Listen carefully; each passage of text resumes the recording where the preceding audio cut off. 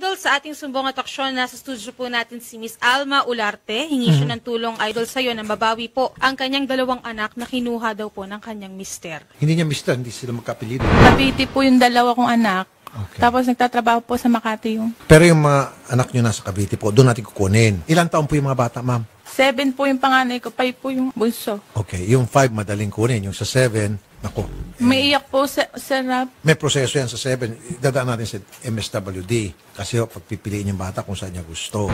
Sir Danny, sir, kakausapin kayo ni Ma'am Alma. Ano, kunin ko na yung dalawa. O ba't kukunin mo? Di ba nagpirmahan na tayo sa barangay? Nilalagay mo sa peligro ang mga bata. Eh. Nag, nagpapatulugan ng lalaki dyan Hindi po ako- sa bahay ko. hindi ako Pagkatapos nakikita ng bata ang kawalang hiyaan nyo. Hindi niya, Di ba naisip yun?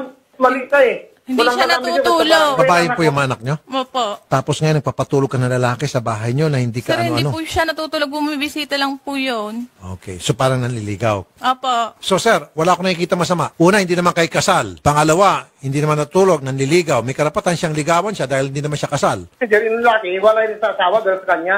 Kaya sinugod ng babae, ng Hindi, hindi asawa ng po lalaki. yun, yun eh. sir. Kasal din yung lalaki. Hindi po rin kasal. Hindi. Oo, oo nga, pero sinugod ka ng asawa ng lalaki dahil sa ginawa mo, anim ang anak yan eh. Nabando na ang pamilya para sa'yo. Ang masama, sir, kasi pinatutulog niya sa bahay ko. Ah, teka sa muna, teka muna. Ano paano po nitong nanliligaw sa'yo? Enrico ho. Si Enrico, iniwan niya yung kanyang, sabi natin live-in partner kasi hindi kasal ka mo. Iniwan niya yung Hindi kanyang... po, hindi po niya iniwan po yun. Hindi, Ano- kasi meron daw po anim na anak yon. Opo, nasa kanya po yung apat. Nasa, Hindi, kaya nga po, iniwan yung pamilyang niyang yon para manligaw yung, sa'yo. ang babae po yung umalis sa kanya. Tapos bum- nung kami na ho, biglang bumalik yung babae. Kaya nga po, na. nag-iskandalo si babae ngayon. Opo, naghahabol sa kanya. Kaya nga po, pati kayo ini-iskandalo din.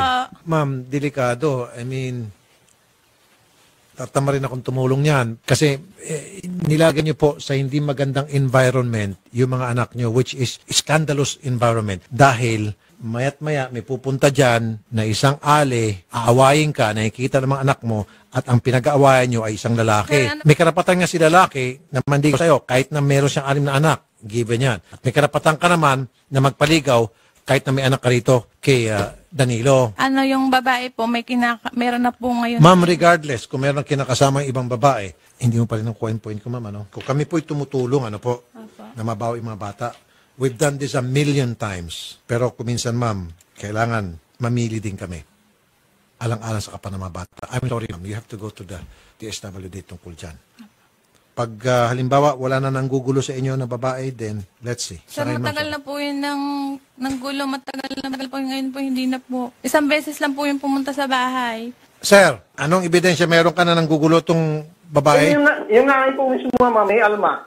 Ang kwento sa akin. Hindi ko alam kung palagi. Basta Hindi po, isang beses lang po. Inaaway. So, ibig sabihin, no, kung ginulo siya, ibig sabihin, may relasyon pa rin sila ng lalaki. At ang lalaki, wala namang hanap buhay yan pa. Patinda-tinda lang ng isda yan. Hindi naman regular ang trabaho. Sir, wag mo nilalait yung natitinda ng Oo, isda. sir. Oo, sir, wag, sir, sir. wag, sir, wag. Kasi nasaktan ako dahil...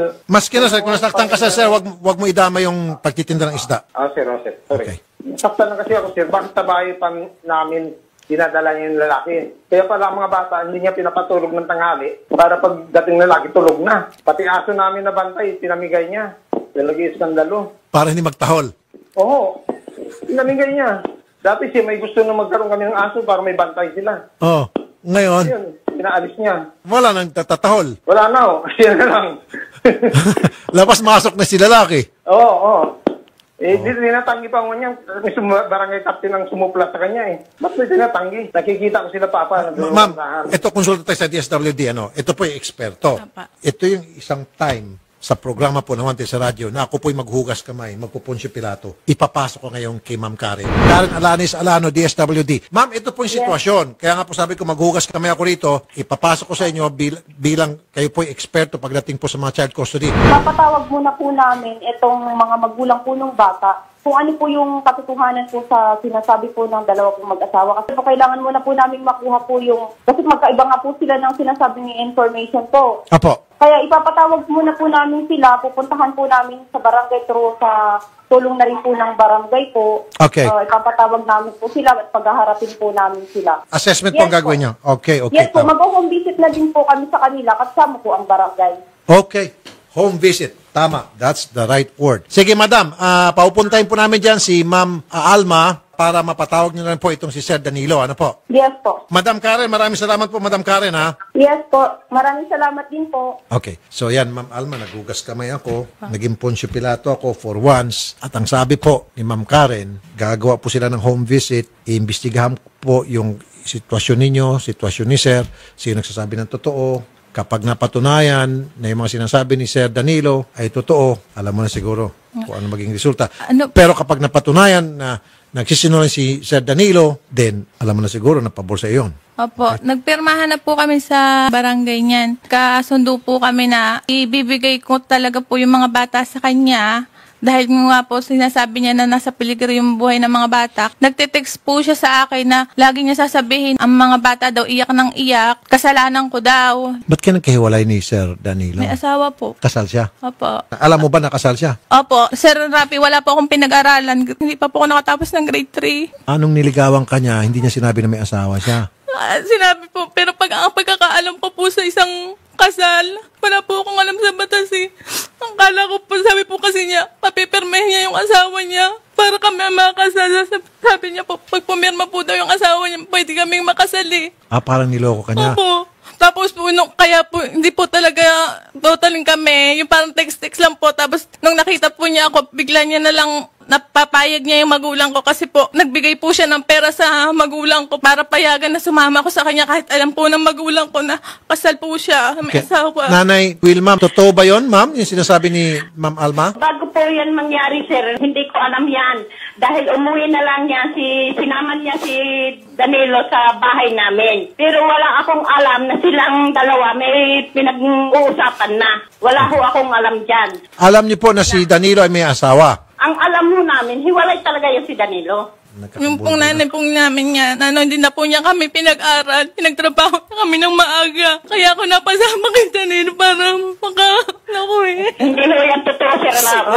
Totoo po eh, sir. Kaya po wala akong Hindi yan, pinag-aralan. hindi yan Ilang taon kayo pinagtrabaho ng nanay mo? Pinag-aral ko po yan, Nasa napigilan sa taon po, nag-aani na po kami sa tubigan. 10 years old pa lang kayo? Pinagtrabaho na kayo? Opo, pati po yung kuya ko na ka- saksi po yung mga amo namin. saksi po Sa sila. farm? Mm. Sa, pati nagtulong po kami saksi po sila yung mga amo namin na hindi pa kami nakaka isang buwan sa amo ko. Kinukuha na niya yung sweldo, walang itinitira sa amin, sir. Ito si nanay. Opo. Ba't niya ginagawa yun? Hindi ko po alam sa kanya. Sabi niya, Child natu- abuse yun. Sabi niya, natural lang po daw maghanap buhay kami. Yung amo ko po tawagan niya, siya po magpapakatotoo. Tsaka po yung amo ng kuya ko. Hanggang ngayon, nandun po siya ngayon.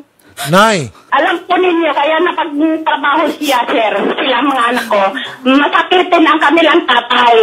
Ngayon po, hindi ko kaya magpagamot na magpagamot ng ano, siya ang may gusto magtrabaho. Kasi ang sabi ko, ining, iiwanan mo ba ako, iisa ka palang nalal- anak na babae. Ay, ang gusto niya, sir, ay mag, mapagamot, mapustusan ng pagpapagamot ang ang kanilang ama. pero ma'am, alam niyo na yung ganong edad, 10 years old, dapat hindi po nagtatrabaho, dapat nag-aaral. Hindi ho, sir. 15 anyos na yan kung 14 ba yun. Siya ang nagpilit na mamasukan na. Siya ang nagpilit sa akin. Kasi gusto niya matustusan ng pangangailangan ng kanyang ama. So siya pala may gusto. Kasi ma'am, pa- para sa akin, dapat pag yung mga ganong edad, kailangan nasa eskwelahan. Wala ho dapat sa mga... ano, 50. sa mga- Eh, oo, sir. Talaga Trabaho. totoo yan. Kaso tapos palad kami. Isang, kahit isang tuka lang kami. Kaya yun ang ano, masakitin ng kanilang tatay. So, kailangan din ng tulong ng mga anak para mabuhay ho kayo. Parang ganon. Oo, totoo talaga yan, sir. Nga kailangan ang tulong talaga. Umasa ako talaga sa kanila dahil ang kanilang tatay eh, may sakit. Kayo po nagtatrabaho din noon, mga panahon yun. Oo, nagtatrabaho ako, naglalabada Sir. ako, namamalansya ako araw-araw. Linggo lang ang pahinga ko. Kinuha niya po yung sweldo namin dalawang buwan. Nagpakasaya siya sa Bisaya. Doon sa mga kamag-anak niya. Nagbakabakasyon siya. Wa- Hindi yan, hindi yan totoo, sir. Kasi ako, binibigyan ako ng At saka po yung- yung anak po niya, yung kapatid ko po. Bago pumunta ng, ng Bisaya, malalaki na sila. Mga dalaga na sila. Binata. Meron po akong kapatid na ano, special child. po ng nila. Ma'am Alma, bakit tinitira mo yung nanay mo ngayon? Hindi ko po alam siya po yung masyadong mag-ano sa akin. Nag- Hindi kasi yung nanay mo nagsasabi lamang ng totoo sa nakikita ko. Wa- th- there's nothing wrong at an early age, hingi siya ng tulong sa inyo dahil kapusparat niya. Sabi niya, hirap kayo dahil may sakit yung papa niyo. Hindi po Nagtatrabaho totoo siya yun. bilang labandera. Now, kayo na mga anak, bibigay, although bawal yung sa isang bata na magtrabaho, pero kung meron namang consent from the parents, Hindi at po- the age of 14 years old ka, pwede siguro. Pero pag 10 years old, hindi pwede. Pero kung mga 14, 15, part-time, tapos may consent sa parents, pinapayagan po yan ata. Kasi po nung- So, Sir- ma'am, wala ako nakikita masama kung yun po ay dahil kailangan mo makatulong sa iyong ama na may sakit. Sir, ano I would po? have done it myself too. Kung ako po inalagay sa ganung sitwasyon, 14 years old ako, magtatrabaho ako, magbabanat ako ng buto para lamang makatulong doon sa papa ko na may sakit. Sir, hindi po totoo yung sinasabi Ikara- niya. Karangalan ko pa na gawin yun. Ma'am, napapalayo tayo. So, doon na lang tayo pupunta sa MSWD assessment. Huwag ko kayo maglala. Kami na ho mismo mag-arrange sa pagharap niyo po sa MSWD. Kami po ay maging watcher lang. Hindi kami mag-exert ng effort. Tingnan namin kung ano maging desisyon ng MSWD. Sige po, arrange natin. Salamat po, Nanay ah, Wilma. Magkagalit ka ng nanay? Sir. Kausapin niyo ang tatay niya para maintindihan. Malaman din. Okay. Na ako pinapahamak niyan. Ma'am, magbati na lang kayo. Pwede ba magbati na lang kayo ni ano? Ni Ay, ano? pinapapagbati ho yan ni Danilo kasi pinagtungayaw niya ako, pinama, pinakamamatay ako niya. Ina mo kay ka matanda ka, mamatay ka ng ina mo ka matanda ka. Hindi ka pa namamatay na po ina mo ka matanda ka. Gayon ang gayon ang sinalita niya sa akin, sir. Yun Sir, ang hindi ko matanggap sa kanya. Ma'am, minura niyo po nanay niyo. Eh, wala na akong ganang tumulong. Sir, nasagad lang po ako nun, sir. Kasi po, ano, nung... Kasi Okay, so, grabe so po rin minura mo na siya. maraming beses dahil nasagad ka lang. Opo, kasi nga sobra na po, sir. Nag- Sige naman, salamat. Okay na, out. Out. Sige, ma'am. Walang sasama. Kay, wag pasamahan to. No way. No fucking way. Nanay ah, Wilma, Oo. Ma'am, pasensya na po. Masama ang loob ko doon sa mga narinig ko. Nas- nasaktan ako. Sir, sa kanya, kasi magulang ako, kanya ako gusto mamatay na ako. Hindi niya nalalaman kung paano ko sila kinalagaan. Halos mamatay din ako sa paghahanap buhay para lang mabuhay sila.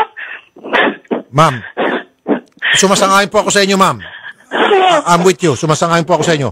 Na, nalungkot nga po ako, ma'am, nung ah, marinig ko na kayo po pala yung minumura niya. Minura ko pinipiyay ka niya na walang pakundangan. Bakit niyo po ginagawa yun, Nay? Ang akin lang naman gusto mawala sila ng lalaki niya para yung mga bata ay makalingan niya. Kasi gusto ko pakiusapan si Danilo na ibigay sa kanya ang mga anak. At mahal na mahal ko yung mga apo ko ngayon. Sasabihin niya, hindi ko daw mahal ang aking mga apo. Well, yung sa inyo po, Nay, eh, para lamang sa kapakanan ng mga ah, anak nyo at saka mga apo nyo. Naintindi ko po yung Nay, hindi ko nagustuhan yung nung masab sabihin nyo na pinagmumura kayo nito. Foul na foul po sa, para sa akin yung. Kaya nga ma'am, pinalayas ko na siya. Hindi ko na po siya tutulungan dahil dyan. Okay, Nay? No. Salamat po, Nay. Ingat po kayo. God bless po. Sige po, salamat. Lapis.